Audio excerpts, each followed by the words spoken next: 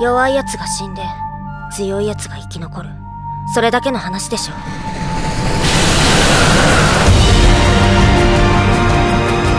あんたが私の敵なら殺すよ。君は。ルメイそれ名前なのか？兄様がつけてくれたんだ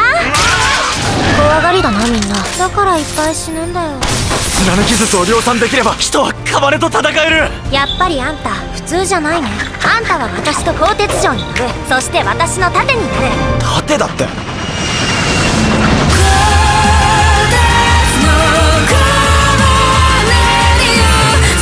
いくせに気がんないでよね。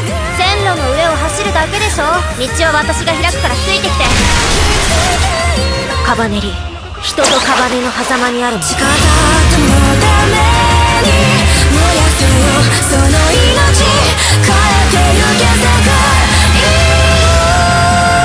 それじゃあ100秒目標でロックン少女